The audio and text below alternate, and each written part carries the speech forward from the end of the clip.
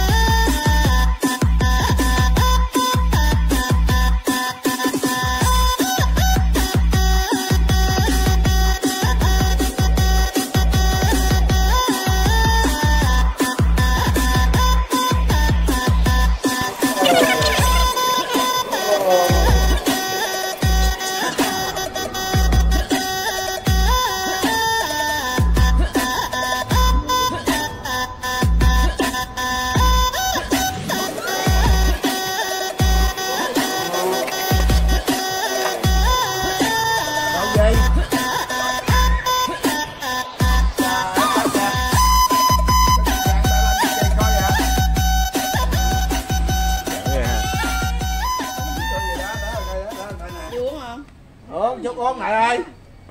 Rồi tắt ra